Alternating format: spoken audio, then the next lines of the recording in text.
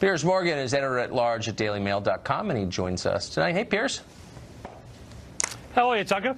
So what do you what do you make of this? But both of Omarosa's latest incarnation as a political pundit and of the dismissal of religion as mental illness.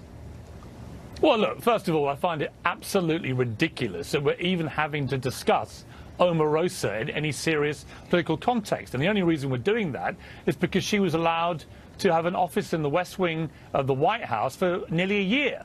Uh, I don't know why Donald Trump would have ever let her in there. She's already behaving exactly how I could have predicted she would behave. In other words, she's squealing like a canary and taking them all down, as of course she was going to. She's Omarosa. She's a reality television star whose only raison d'etre is to be a poisonous little viper, uh, spreading gossip, innuendo, and terrorizing everyone in her wake. So First question, what was she doing there? There is no sensible more. answer. I mean, for all the time I mean, we spent on the Russia story, gone, this nuts. is a bigger scandal. I agree. She worked at, Omarosa worked in the White House. Really? Why? Democrats didn't even notice. I guess she's too, you know, she seems normal to them.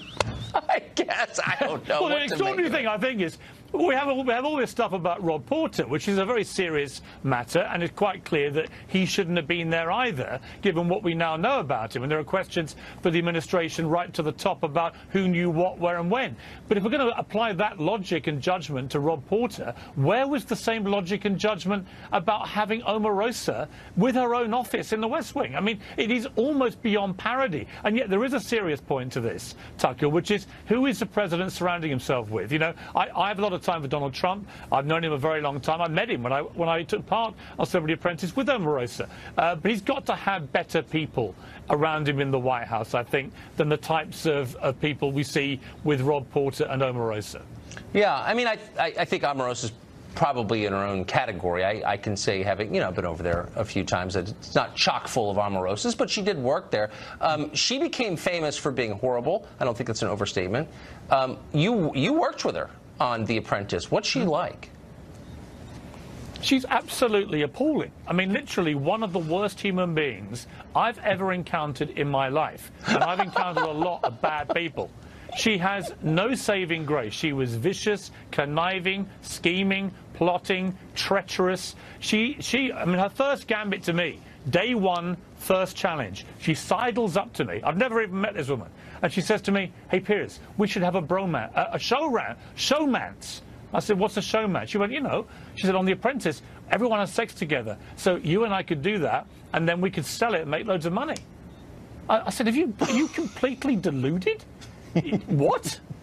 Please go away. She said, What? What's the matter with you? Are you gay? I went, No, just because I don't want to have sex with you on this show, that doesn't make me gay. So anyway, this was your Me that, Too moment? For about well, you know, I'm a victim here. I'm a victim of, of Omarosa Tucker. But she, she gave me then for four or five weeks unrelenting five barrels of abuse, tirades, homophobic stuff, and really vicious, nasty stuff. And I couldn't believe it. I mean, she, she got beaten in the show. I ended up winning it. That stuck in her mind as well. Cut forward to the campaign, I think in the middle of 2016, I suddenly read she's going to be working for Donald Trump, the candidate. I'm like, what? How can that even make any sense? Then I hear when he wins, she's going to be in the White House. Now, I, look, again, I have a lot of respect for Donald Trump, but I'm afraid with Omarosa, this made no sense at the time. It makes no sense now she's left. She apparently achieved absolutely nothing in her time in the White House other than disrupting everybody. And you can just bet your life she was there listening, plotting, scheming, probably tape recording. We're now going to have Celebrity Big Brother and all the stuff will come out of that. Then we're going to have the book, then the docu-series, and then the Lifetime movie, at which point you and I are going to have to leave the country because it is so ridiculously absurd. That's one of the most vivid descriptions of anyone I've ever heard. Have you been in contact with her? I, I suppose you're not texting each other still. You know what? We have not stayed in touch. I did bump into her once at a, at a, WWE wrestling event, and it's funny the nausea I felt in the exact moment that she made that proposition to me all came flooding back. and I literally had to run to the restroom and regurgitate exactly what I had done all those years before. You know, she is beyond any reproach. She's a professional agiteur of epic proportions and probably the least trustworthy human being ever conceived on God's earth. And for her now to be laying into Mike Pence about religion when religion has somehow created this monster is beyond any sense of realism you could ever wish to have. What a life you lead.